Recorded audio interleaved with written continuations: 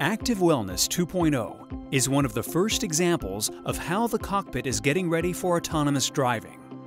This seat will redesign the driving experience through occupant monitoring and data management without compromising comfort and safety.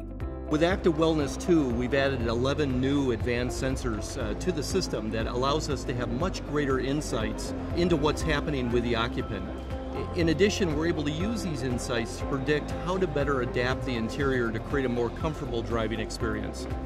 Insights we gain from active wellness leads us to deploy wellness actions, different events that help the user be more comfortable. These could include uh, massage, ventilation, changes in ambient lighting, and other factors in the environment of the vehicle.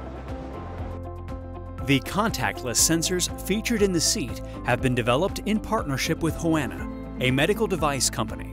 Faurecia teamed up with CloudMade, deploying cloud analytics technologies to evaluate usage patterns and automatically adjust the seat for individualized comfort. Active Wellness is designed to specifically meet the needs of autonomous driving.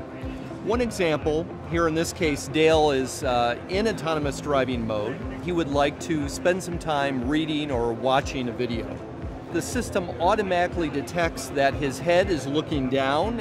It suggests a change, and if Dale accepts this, the system automatically inclines, puts his head in a position that's more aligned, uh, raises his arm, and makes a much more comfortable position uh, for looking at a device.